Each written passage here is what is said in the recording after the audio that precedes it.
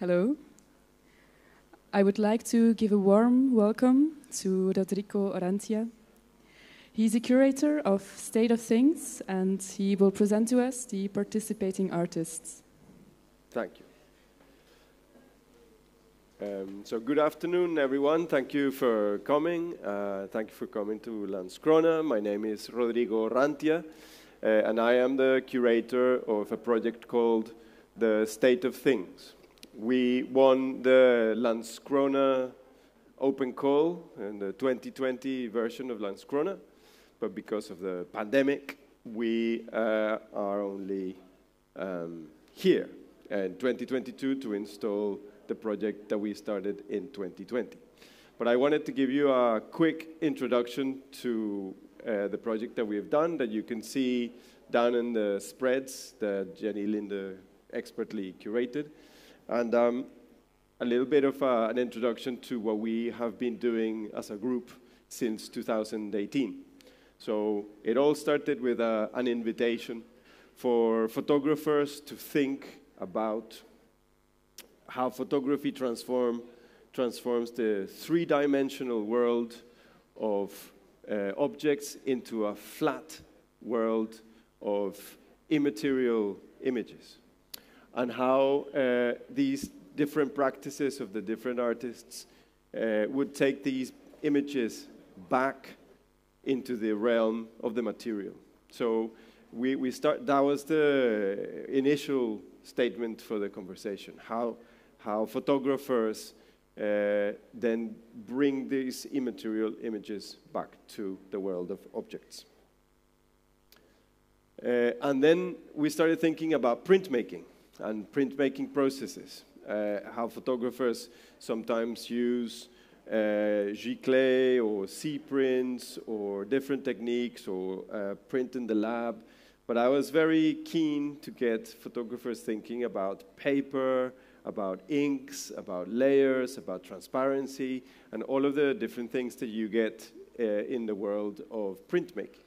So, uh, doing a lot of research, we came across uh, riso printing, risography, or risography, which is a, a, a machine invented in Japan, and it was uh, an eco version of a photocopy machine but it's been taken by artists and it's been taken by now by printmakers.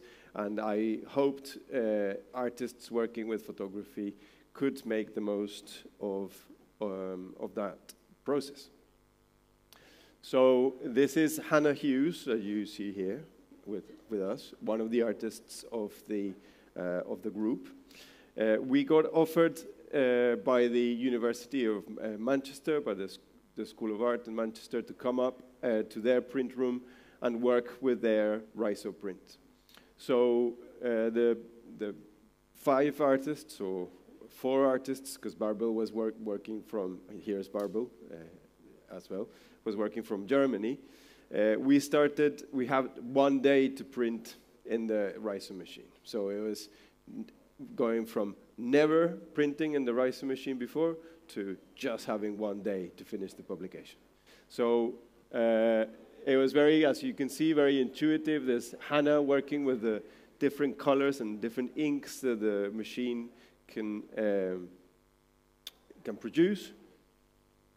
And uh, we printed over five sessions uh, in the summer of 2018 to uh, produce the publication that we have on our table which is the original idea of called material immaterial.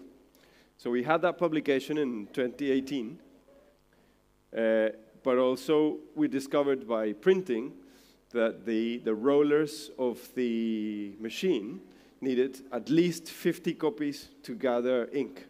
So we started reusing the same stock of paper to, um, to load the, the inks for the next artist. And a lot of crazy accidents, haphazard over layers, and different things started happening. And we all fell in love with the tests rather than the final prints. So we decided to create uh, here, just working in the dummies of the publication, how it was going to um, work. But there's uh, the idea of the test prints. So we got invited to Cosmos uh, Books in Arles to do a, uh, a pop-up um, performance where we would uh, bind and staple um, what we called test books. And here we are. Uh, this is 2018. That's Hannah Bärbel and uh, Bonnell and myself in Arles making these books. It was so popular that then we got another invitation to keep on working with the test prints, and, uh, and we did the same thing in um, live binding performance in uh, Paris at Offprint. So we gathered all the different tests into, um, into a special publication. But it wasn't until 2019 that we finally got the, the, the publications that you see here. When we did, I then started thinking about a new stage of that same project. And we sent it as an idea for Landskrona, which was called uh, The State of Things. And The State of Things. Basically, what we wanted to do was to think about Landskrona uh, or imagine Landskrona as a state of things, as uh, not just like a, um, a state, as in like a territory, but also a state in terms of a moment, a, and, and a state of matter changing, or like a, a, a state might be like a specific point in a transition or a transformation. And it would be uh, taking the learning that we had from materially material and bringing it as a, an, an experimental, uh, an experimental say, installation or an experimental performance to be held here in Landskrona in 2020. So we sent it over, and uh, I, it was quite nerve. We were quite nervous because we couldn't show the images that we were going to make. We only had the idea, and we wanted to come to Landskrona and see the space and create the work here in Landskrona. Uh, fortunately, we were uh, selected by uh, Monica and Jenny and the jury in 2020, uh, and we were very excited. But as soon as that happened, uh, COVID hit, and we went into in the UK uh, into full lockdown. So it was we either stopped or we developed something that we could do uh, online or digitally. But if you kind of think about the nature of this project and how material it is with the papers and the different kind of hands-on uh, alternatives, we then developed a, I wanted to do a printed publication that then you can post. So we have these publications. They're foldouts, and then you can find them uh, by our spreads. And what I did was I asked each of the artists to send me uh, an image that was going to become a seed idea for something that we would develop in two years from 2020 to 2022, which at that time seemed like an eternity. But like, yeah, we've got enough time, there's two years, and it was like that. But we got these images, uh, as you see here, and you can explore a bit more uh, on the stands, each of the images kind of represents the practices of each of the artists. Um, I, this is where my presentation becomes show and tell rather than uh, I thought, why do I show a slide of something that you can see in real life? So uh, I'm going to show you rather than anything. Uh, so the, the, the, five artists that we have here have very particular and very, very um, staple practices They are very easily recognizable during the process. So uh, Bärbel here was working with the shape of a container. So Bärbel lives in Hamburg, and what she did was a, a performance that you can see there in the video, where she, um, with walking on the sand of the beach, limited the space of a container, and we, the idea was to then bring that space into Landskrona and develop something in, the, um, in, in this port. Then uh, Hannah.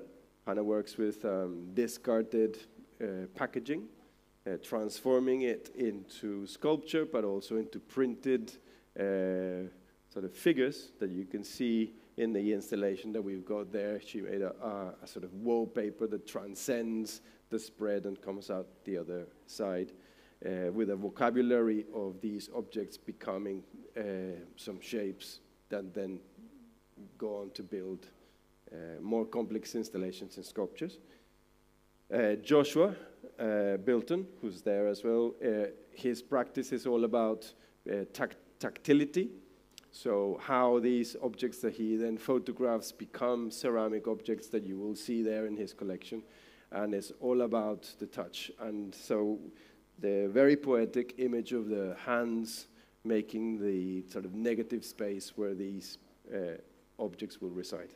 And uh, Tom Lovelace, uh, what he does is he wants people to react to the to what he calls these kind of photogram malleable matter, which is uh, is basically you'll see them in the installation as well.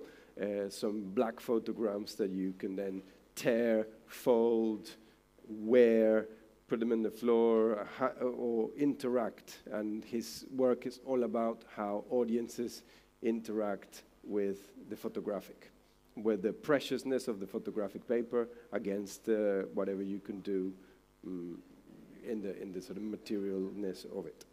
And finally, uh, Eugenia, who's not feeling well, unfortunately, I wanted to uh, introduce you to Eugenia as well. She, uh, her, I think her great grandparents were, were from Landskrona or, or were stationed in Landskrona at some time and then migrated, emigrated from Landskrona, from Sweden to Argentina. So she was trying to sort of trace back the whole idea of migration and, and made this, uh, I've got it here. Sorry, this is Bärbels. But uh, each of these images would have become the centerfold of, uh, of one of the publications. And we posted these publications all over the world. So there's a lot of these images that ended up in America and Japan and different places, and the idea was for people to then respond. So Eugenia's image, which was this here that you can see up in the installation, she got a lot of responses. Written, uh, uh, someone wrote a poem about it, and then she cut this up and started uh, modeling into different objects. And the final iteration of the object is the kite that you see hanging from, uh, from the ceiling. So it's, it, it completes this kind of journey from object to image to publication, and from publication back to being an object, and from an object back to being a, a sculpture. So, so that's a sort of really brief presentation. I know we've, we've got five, ten minutes for some questions. Um, I would love, if you can, uh, for you to go and have a look. There is it's very tactile, the, the things that we want to do. So uh, Bärbel also brought a lot of um, images from her uh, series of indestructible objects uh, that are. Another thing that we really wanted to do is um, allow people to take things with them, to, to that, that material become uh, a way of communication that is kind of like anti-digital. So uh, a lot of the prints you can take with you, these foldouts you can take with you. They've got the, the information about Landskrona. But uh, Bärbel also brought some other prints that are in a stack, and Tom Lovelace sent a stack of uh, his um, photograms also for people to be able to take them. So it's, it's, it's participation and also being able to uh, take things with you. I think that's, that's uh, as quick an introduction as I can uh, muster. I, I, don't know if there's any specific things you would like to say, Hannah or Bärbel. I would love uh, also any questions, uh, but if not, then I will invite you to come and have a look at the installation down at the spreads. Thank you.